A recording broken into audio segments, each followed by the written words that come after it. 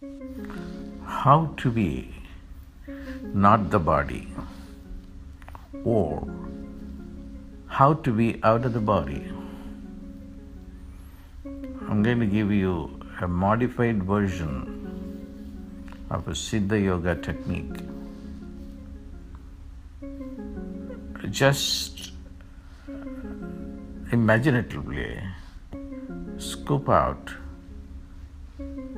both your eyes and place them on the table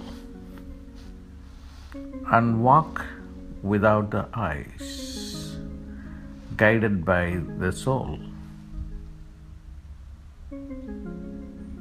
Just do that also imaginatively. Then, after practicing this for a minute,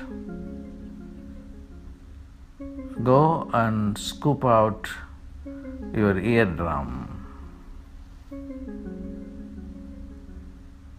and walk guided by the soul without the ears.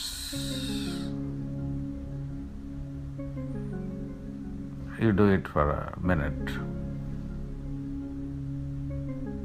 You can detach all your senses like that. Your soul will be witnessing that. I plan to be teaching these techniques during the full moon of the Guru.